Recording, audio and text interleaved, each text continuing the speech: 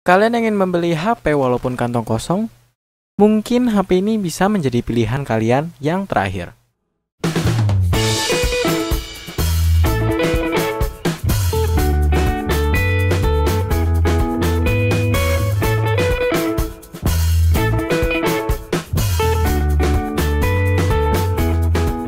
Hai sob, kembali lagi dengan Dwiki di sini dan ini dia Evercost Winner T. Kita ke sisi desain.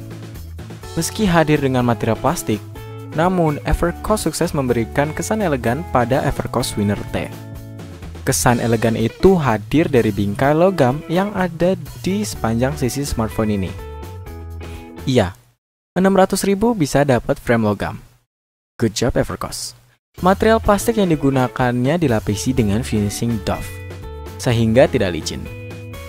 Penutup belakangnya yang dibuat one piece dengan kuat melindungi baterai yang ada di baliknya.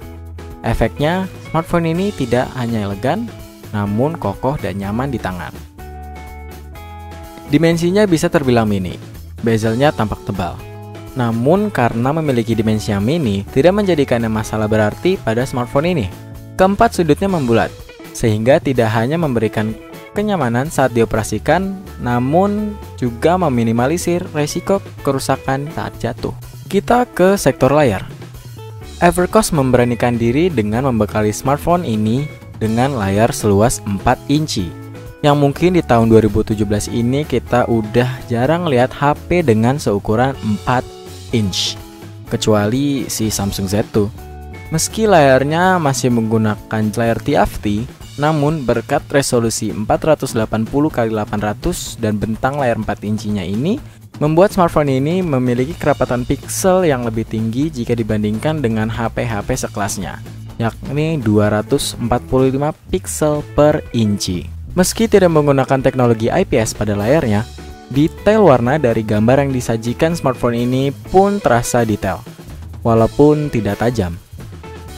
Jika dilihat dari sudut samping, sajian warnanya konstan dan nyaman di mata. Kita masuk ke sistem operasi. Hadir dengan OS Android KitKat 4.4, Abracos Winner T hadir dengan stok Android yang sedikit kustomisasi. Lock screen defaultnya hadir dengan menampilkan icon kunci yang dikelilingi 4 shortcut untuk menuju unlock screen, SMS, kamera, dan panggilan. Saat masuk ke home screen, secara default kalian akan disuguhkan tampilan home screen khas Android kita ke hardware dan benchmark. Untuk dapur pacunya, Evercost membekali smartphone mini ini dengan chipset Spectrum SC8830 quad-core dengan clock speed 1,2 GHz dan ditambah GPU Mali 400 MP2. Dengan dukungan RAM sebesar 1 GB, smartphone ini mampu memberikan kinerja yang lembut dan cepat.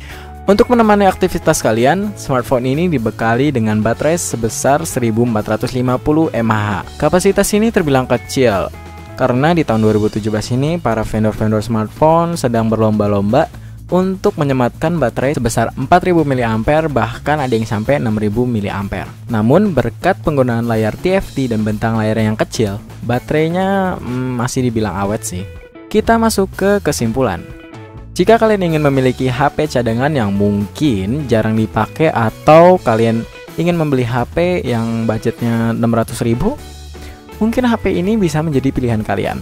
Namun, kalau kalian ingin bermain game, menonton film, dan multitasking yang banyak, HP ini bukan pilihan kalian. Terima kasih telah menonton video ini. Jika kalian suka, please like dan klik tombol subscribe. Dengan Dwiki di sini, terima kasih. Stay productive and inspire. Bye.